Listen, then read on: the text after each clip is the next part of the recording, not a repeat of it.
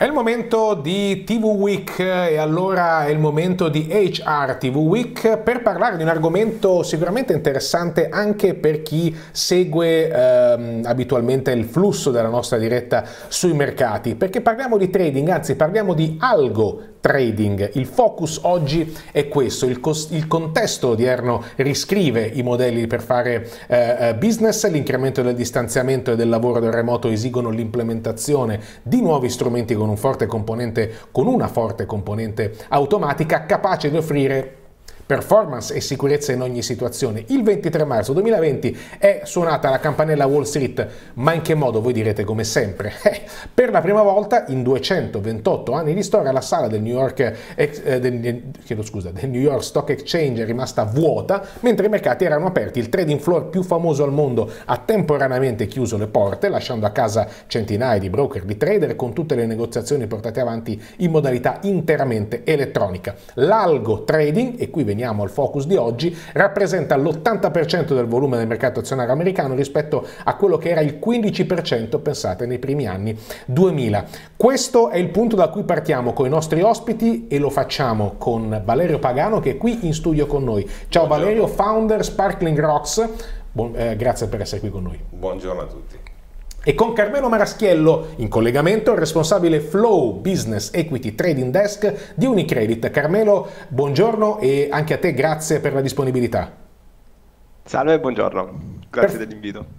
Grazie a te, ovviamente l'audio è buono, eh, ovviamente per Carmelo, tu sei qui in studio, quindi non, ci sono, non c'erano dubbi. Allora, cominciamo proprio da Valerio Pagano, appunto, founder di Sparkling Rocks, ehm, per cercare un po' di diciamo, mettiamo le basi, insomma, partiamo dalle basi, eh, anche magari per chi è più indietro da questo punto di vista e quindi come definiamo il concetto di algo trading e perché, lo un po' l'abbiamo anticipato, ma adesso Valerio ci spiega meglio, è diventato così importante in un periodo così delicato e così inedito come quello appunto che stiamo vivendo. Valerio.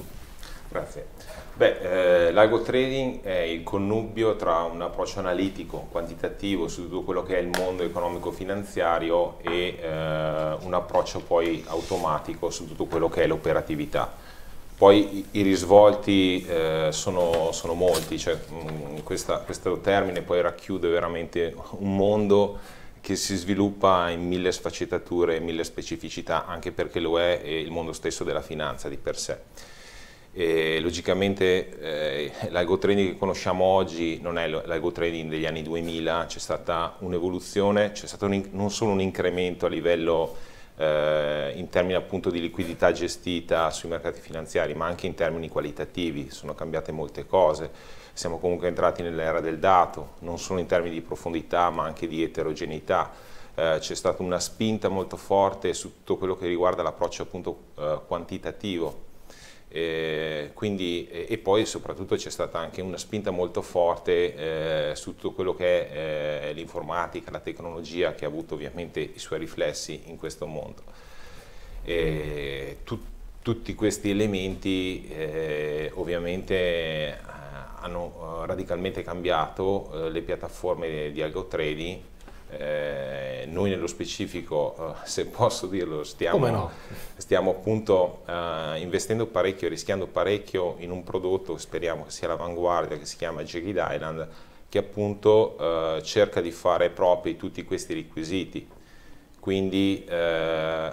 innanzitutto uh, sfruttare appunto l'eterogeneità del dato, no? la nuova frontiera sono anche i, i, le notizie, le cosiddette news, quindi, uh, uh, oppure l'approccio tecnico attraverso AI, oppure appunto un se una serie di, di, tool e strumentazioni che forniscono e, e agevolano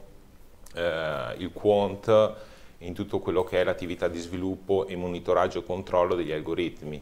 alla fine il nocciolo è quello di far risparmiare tempo e di eh, conferire qualità al lavoro del quantitativo, ma soprattutto eh, dargli una leva moltiplicativa al suo lavoro. Quindi, visto che poi anche i quant, soprattutto i quant di qualità, eh, non si trovano così facilmente, perché serve anche un po' di, un, un po di qualche insomma, caratteristica di brillantezza poi sì. per, per affrontare questi temi. Eh, sul, sull'importanza dell'algo trading eh, e Uh, beh, allora, diciamo che è importante di per sé, è importante di per sé perché uh, ha dato uh, molto valore appunto in termini di tempo, ma pensiamo anche a, a elementi come eh, la classica differenziazione e, di portafoglio no? per andare un, verso una migliore gestione del rischio. Cioè, eh, diciamo che ci sono vantaggi, tantissimi vantaggi in termini generali. In questo periodo, se vogliamo contestualizzarlo, in questo periodo eh, mi viene in mente, eh, allora, è evidente che eh, il cosiddetto smart working, che forse per certi aspetti è più telelavoro, eh, però ha avuto, si è presa della tecnologia per andare a riorganizzare in modo radicale un po' la logistica, l'organizzazione no, del lavoro, per cui si fa da casa però spesso, ehm, quindi ci sono molti vantaggi su questo, però c'è anche qualche difetto perché una persona lavorando da casa logicamente si trova in un ambiente che potrebbe avere dei limiti in termini di spazio e anche di, in termini di concentrazione. In questi termini, cioè su, su, questo tipo di problematica, per esempio l'Igo Training ha, ha, ha, creato un grosso differenziale temporale tra quello che è il momento decisionale e quello che è il momento operativo. No? Eh, in passato eh, il trader, eh, classicamente il trader, ma eh, comunque in, in, finanza, cioè, eh, leggevi l'informazione da, dai giornali, dai data provider, prendevi la, la, decisione contestualmente e poi nel momento in cui andavi, gestivi in real time la posizione... Incrociavi le dita? Eh, sì, incrociavi le, le, dita, ma era anche un continuo pensare su come comportarsi sulla posizione. Mm. In questo momento invece cioè l'Ego Training dà questa, eh, questa possibilità di creare una grossa distanza temporale tra il momento decisionale e il momento operativo quindi, eh, e oltretutto il momento operativo che significa eh, mettere in piedi, implementare appunto i sistemi e metterli all'opera sul mercato, monitorarli e controllarli, eh, logicamente se fai questo lavoro da casa sei un attimo più tutelato perché comunque hai una sorta di pilota automatico che eh, lavora all'interno poi di limiti, di protezioni eccetera eh, e quindi può dare un attimo un attimo di protezione, cioè, mi immagino il trader di 15 anni fa che scambiava non so, 100 milioni in future uh, ogni mezz'ora e, era, e se, se, lo facesse adesso dalla cucina di casa col figlioletto che, che gli cammina dietro il PC magari qualche problema ce l'avrebbe. Eh, forse, forse magari l'Ego Training questo, uh, cioè i sistemi, le piattaforme che poi appartengono a un mondo più grande che è quello proprio dell'approccio uh, certo. qualitativo alla finanza, può aiutare insomma.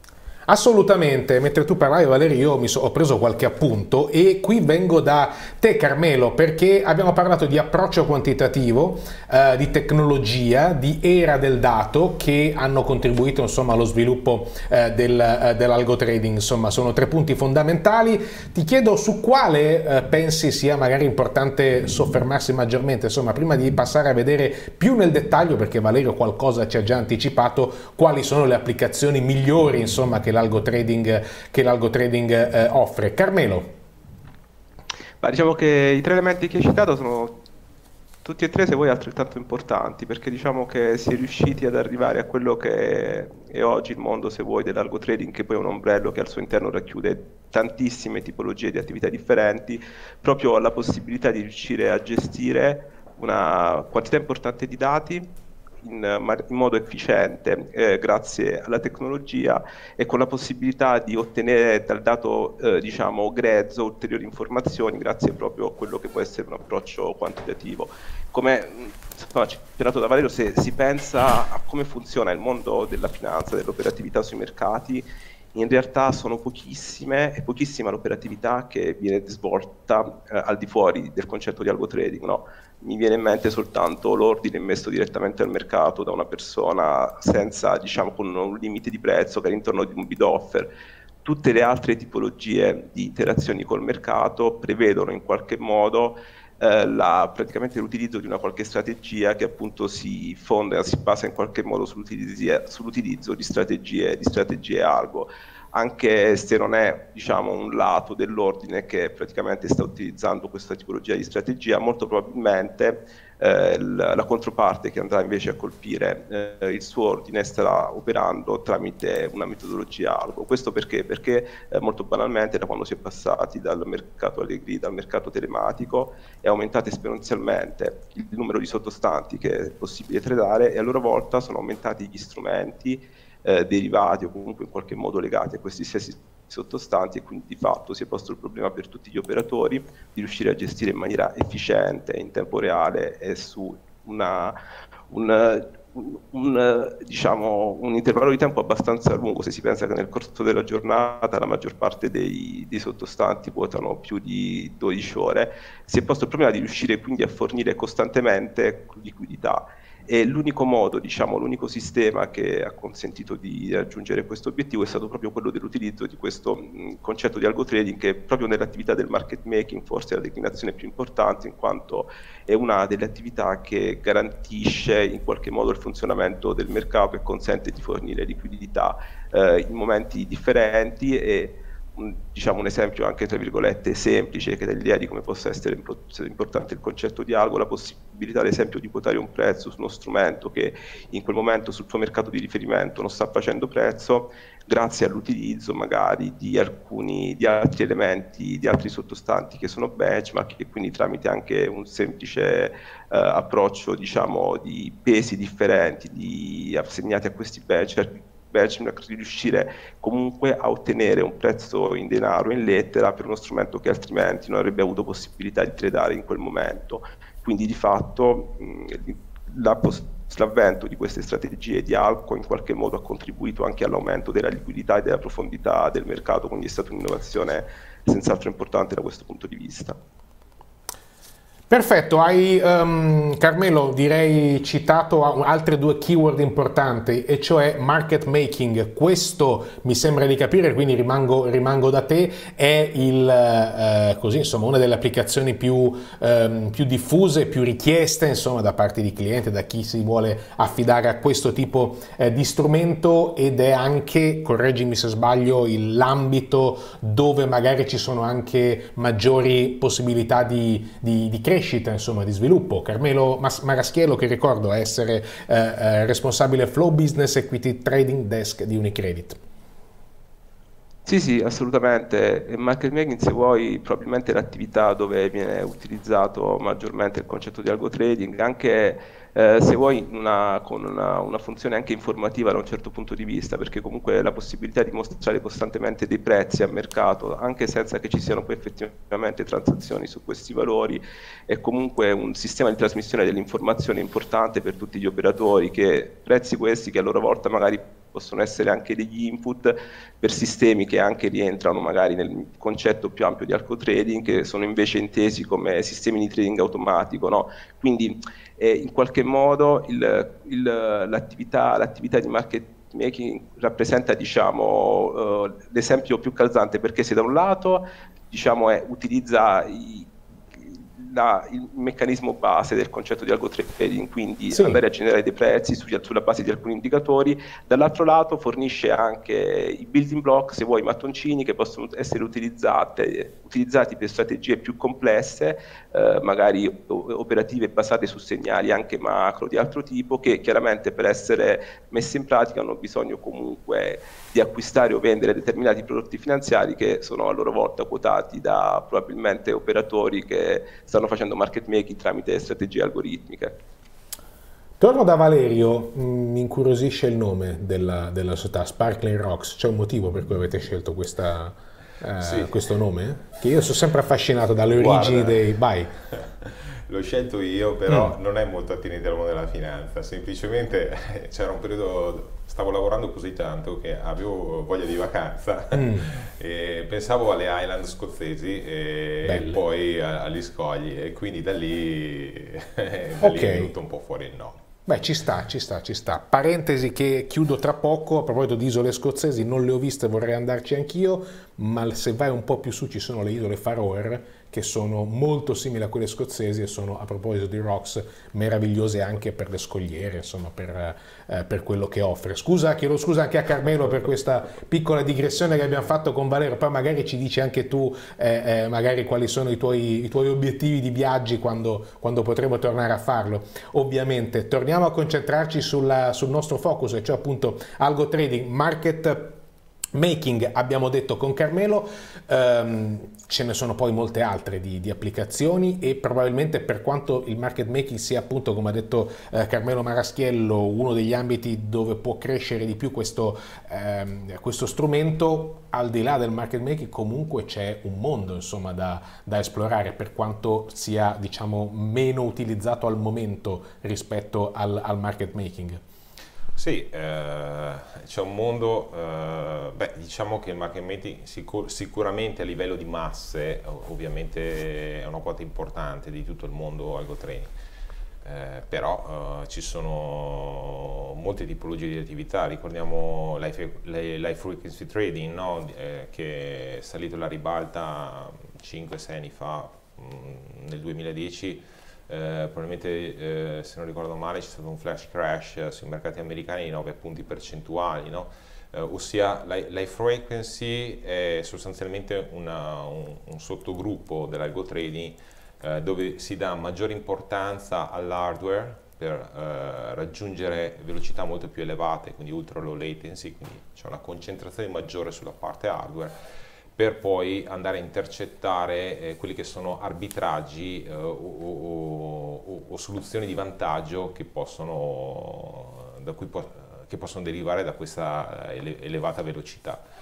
Eh, sinceramente io sono molto legato eh, e anche, anche Jackie Dyna un po' la sua il, il, cuore di partenza è quello, è quello dell'algo trading classico, cioè sono mm. affascinato dal, eh, dall'approccio analitico su tutto quello che è il mondo economico-finanziario. No? Quindi eh, andare a studiare questo mondo significa non solo avere a che fare con eh, variabili discrete o con ragionamenti logici, ma molto, eh, molto spesso si affrontano anche variabili di tipo sociale o psicologico, quindi deriva poi eh, la necessità di risolvere problemi di natura complessa e, e quindi che richiedono anche una eterogeneità dei dati. Eh, logicamente poi eh, questo, questo, tipo di approccio, mh, mm, quindi quantitativo, non, non, necessariamente ha come output poi eh, l'operatività, perché può essere anche eh, sfruttato eh, per andare a fare una andare a vedere eh, il mercato, eh, cioè rielaborare le informazioni per andare a analizzare il mercato e quindi avere uno spunto informativo. Um, Valerio, come, eh, che, che, approccio c'è da parte dei, dei, clienti, insomma, da parte degli operatori nel, nel, nei confronti del, dell'algo trading? Nel senso, um, c'è, una grande aspettativa da parte, da parte, loro proprio perché, come dicevi tu, non siamo più come, come, come, era prima, o meglio, ci sono ancora situazioni più classiche in cui il trader ragiona con i suoi strumenti eh, eh, senza ricorrere a questo strumento, però eh, l'attesa è molto alta, insomma ci si aspetta che basta, basta, affidarsi a un algo trading e insomma anche magari per smontare se ci sono eventuali eh, così insomma non voglio chiamarle bufale però magari qualche pensiero, qualche credenza eh, da parte di di chi segue ma, ma, che non si fida e che magari appunto ha bisogno di chiarirsi un po' le idee da questo, da questo punto di vista. Insomma, quali sono le aspettative dei, degli operatori, dei clienti quando decidono di affidarsi a chi gestisce uno strumento del genere? Beh, eh, qui forse bisogna dividere il mondo istituzionale da, dal mondo poi retail, no? perché eh, il concetto di algo trading è un concetto che viene utilizzato anche per su piattaforme private, logicamente eh, c'è una diversità tra, tra, un software di natura industriale e, poi invece software che vengono utilizzati dai privati. Eh, generalmente eh, chi è un protagonista del mondo, uh, del mondo quant, del mondo analitico, uh, non cade dalle nuvole, non ha strane idee, cioè eh, come tutti i lavori eh, c'è tanto da fare, è un, un lavoro che si fa e si raccolgono i frutti giorno dopo giorno. Logicamente Um, il mondo che ci aspetta, ricco di informazioni, di, innovazione eccetera, non può farne a meno, cioè è, il nuovo modo per, per, affrontare tutti i temi legati al mondo economico-finanziario, quindi è uno strumento importante. Uh, non riesco a immaginare nessuno che possa ad assorbire ogni istante di secondo eh, i triliardi di informazioni che arrivano in ogni istante, metabolizzarle, analizzarle e produrre una decisione è sostanzialmente impossibile, quindi eh, cioè lavorare senza questo strumento significa lavorare a cieca sui mercati finanziari.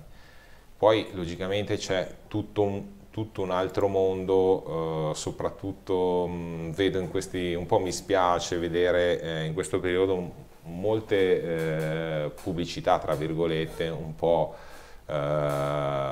imbarazzanti a volte, classicamente investi qui che diventerai ricchissimo, la famosa espressione ragazzi sono veramente euforico che sì. è diventato poi virale, ma non come avrebbe voluto lui, ma più perché insomma ti strappava un sorriso amaro, nel senso che era chiaro insomma dove volesse arrivare. Però immagino che tu stia parlando di quel tipo di, di, di, di comunicazione, insomma. Sì, eh, esatto, cioè, l'algo training è, un, è, una tecnica, è un, uno strumento, è un approccio che, eh, da cui non si può prescindere nel, nel mondo economico-finanziario dove andiamo. Eh, detto ciò, eh, come tutte le cose, eh, occorre fornirsi di, di, una buona cultura e, e, e di tanto impegno e affrontare un lavoro quotidiano, quindi poi ci possono eh, ci possono essere sicuramente ottimi risultati e, eh, e, oltretutto è anche un mondo estremamente interessante perché le tematiche che ti coinvolgono poi sono di diversa natura, no? te un, un, tema economico-finanziario, temi e problematiche informatiche, o, cioè sono, è veramente un mondo uh, molto ricco. Carmelo, torno da te eh, perché dunque si parla di algo trading, si parla di presente, ma si parla anche inevitabilmente eh, di futuro. E quindi eh, vorrei chiederti proprio insomma, come vedi questo strumento eh, proiettato nel futuro, quali sono le eh, potenzialità insomma, e eh, come appunto le persone, i grandi, prima, prima, prima Valerio ha diviso il mondo, il mondo, istituzionale e quello privato, quindi anche su, su, entrambi i fronti. Insomma, il futuro dell'algo trading, per farla, per farla più breve, qual è secondo te, quali sono eh, le, le, potenzialità insomma, da questo punto di vista? Eh, sì, anche giustamente come diceva Valerio c'è fare una distinzione fra retail e institutional. Il mondo retail sicuramente sono presenti e continueranno ad aumentare delle strategie offerte come pacchetti, come prodotti singoli, dove praticamente l'investimento è basato su diciamo, strategie algo, no? quindi sulla base di determinati eh, indicatori specifici il cliente potrà avere accesso a una tipologia di investimento che magari singolarmente non sarebbe, non sarebbe in grado di, mettere, di, mettere, in piedi.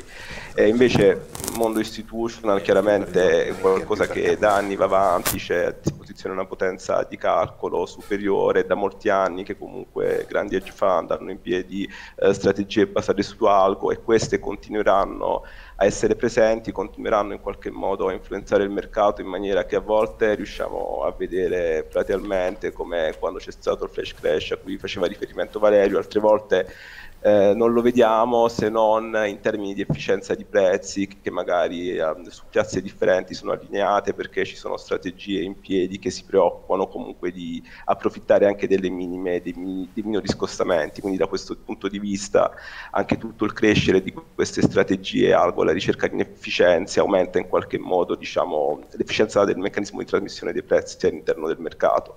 Dal punto di vista diciamo, del market making, eh, che è il mondo che guardo più da vicino, che è un po' più noioso di quello descritto da Valerio, chiaramente eh, l'aumento mh, dell'utilizzo di una quantità di dati sempre maggiori, e la possibilità di avere computer sempre con potenze di calcolo insomma, sempre in aumento, eh, pone la sfida. Certo più performanti assolutamente pone la sfida comunque di riuscire a offrire un servizio su un numero sempre crescente di prodotti eh, in uh, un intervallo di tempo sempre più ampio, quindi avendo la necessità magari in alcune fasce orarie di avere meno, sempre meno persone in grado comunque di monitorare quello che sta succedendo alle due quote, quindi diventa molto importante avere algoritmi di quotazione efficienti che siano in grado comunque di tenere nella giusta considerazione tutte le variabili esterne che in qualche modo potrebbero incidere sui prezzi. E a questo proposito anche utilizzare dei meccanismi di sicurezza che tengano proprio conto di queste variazioni oppure di eh, movimenti di prezzi che a, a, prima vista non potrebbero impattare direttamente magari le quote che hai fuori, però eh, a distanza di pochi secondi potrebbero farlo e quindi essere in grado anche di avere una sorta di meccanismi previsivi che ti consentono una maggiore eh, sicurezza e che si traduce inevitabilmente nella possibilità di estendere il, diciamo, il, la gamma di prodotti quotati e quindi offrire anche servizi, servizi migliori per i clienti. Stessa domanda che giro anche a Valero, qualcosa ci hai già, già, anticipato, però insomma come abbiamo detto Algo Trading è presente ma anche è presente quindi life is now, però è anche, è anche, futuro, ci ha spiegato sul market making quali possono essere gli sviluppi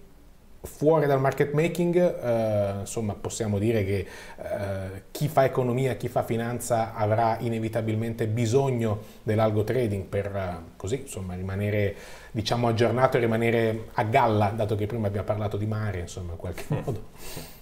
Sì, guarda, forse nel futuro ehm,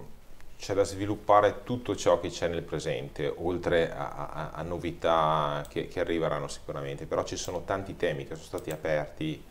eh, che devono ancora trovare una, una loro maturità, no? penso nello specifico a tutto il mondo AI, eh, che ovviamente è entrato con, con, esatto, che, che eh, è entrato con prepotenza, anche se esisteva eh, da parecchio, eh, però evidentemente ci vuole sempre del tempo perché queste cose emergano. Eh, per esempio eh, viene naturale a pensare all'intelligenza artificiale, no? immediato, probabilmente una persona uh, pensare all'intelligenza artificiale come supporto nell'attività previsionale. In realtà eh, viene sfruttata su tutti i fronti, no? che può essere, vanno dalla, dall'analisi dell'execution, eh, anche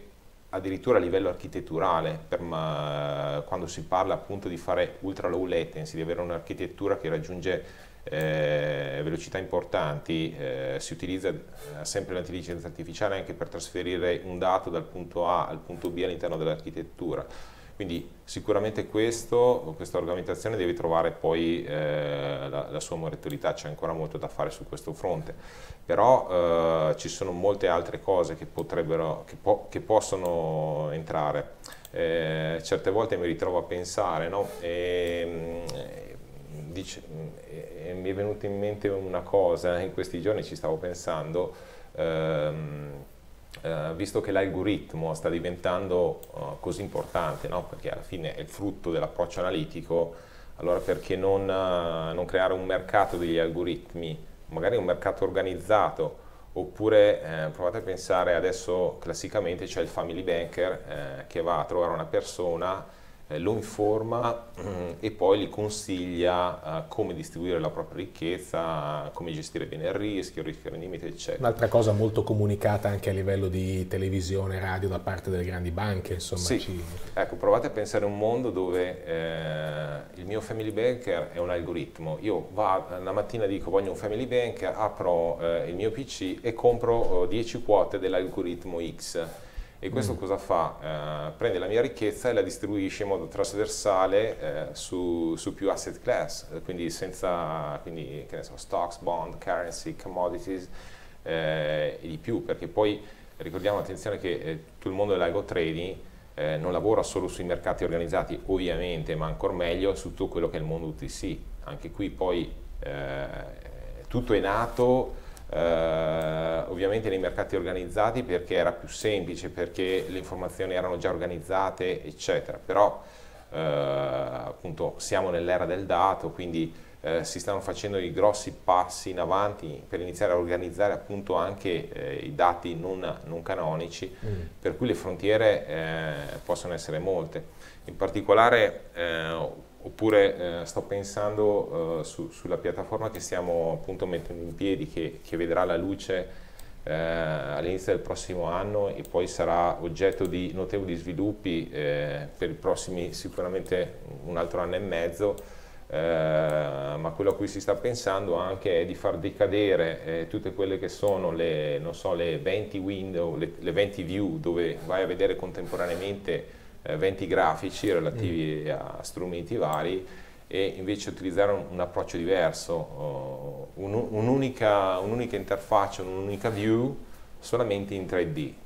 dove tu uh, vedi il tuo mondo economico-finanziario muovendoti in questo ambiente spaziale, eh, quindi a tre dimensioni o n dimensioni. Eh, e quindi, ma questo per che cosa? Non per, uh, per avere un qualcosa di carino in cui lavorare tutti i giorni, ma per riuscire a trasmettere l'informazione in modo più rapido uh, a chi fa attività di monitoraggio e controllo quando gestisci tante variabili, mettiamo un portafoglio o 10 portafogli, ciascuno magari da 200 strumenti, c'è anche l'esigenza di avere un, una, un, monitoraggio e un controllo per aggregati, quindi riuscire in qualche modo ad avere il controllo della situazione. Cioè, quindi si possono, veramente, eh, si, si possono veramente fare molte cose poi in futuro però sicuramente occorre partire da tutto quello che c'è già adesso e, e farlo maturare. Cioè, serve tempo, ma insomma, ovviamente eh, eh, siamo già sulla strada, sulla strada, giusta, quantomeno, dato che insomma ci hai anche dato delle, delle, delle, idee concrete su dove potremmo andare ad atterrare con, con questo strumento. Carmelo, eh, quando lavori troppo e chiudi gli occhi, qual è la, il posto insomma, dove, che, ti, che, che, ti, appare, diciamo così, per uscire un po' dalla, dalla routine, per chiudere col ma, sorriso? Mare, mare, ovunque qualunque, mare, qualunque sia, sì, qualunque posto con una spiaggia. Ok, ok, questo perché insomma poco fa poi con, con Valeria abbiamo eh, spiegato anche l'origine del nome Sparkling Rocks. E allora, Carmelo Maraschello, responsabile Flow Business Equity Trading Desk di Unicredit, grazie a te per uh, i tuoi approfondimenti e grazie ovviamente anche a um, uh, Valerio Pagano, founder di Sparkling Rocks, che è stato qui con noi in studio. Grazie a entrambi per averci chiarito un po' di più le idee e fatto scoprire il mondo dell'algo trading e chissà che non ci torneremo presto. Grazie Valerio, grazie Carmelo. Grazie, Grazie a tutti, buona giornata e buon lavoro soprattutto. Buon lavoro anche a voi, assolutamente. Noi ci fermiamo per un piccolo break pubblicitario. Al rientro eh, torniamo, riprendiamo insomma il, le redini del, della diretta del mercato con le vostre domande con Giorgio Pallini. A tra poco.